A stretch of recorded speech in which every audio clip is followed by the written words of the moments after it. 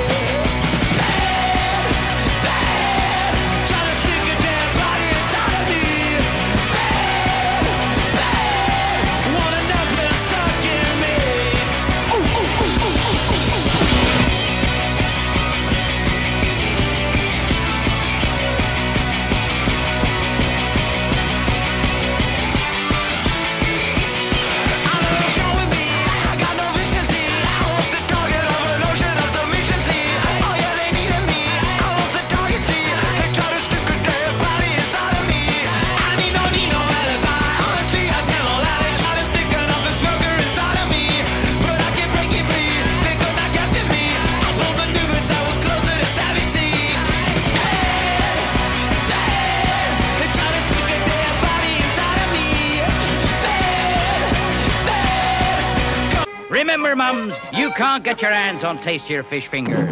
Captain Bernard!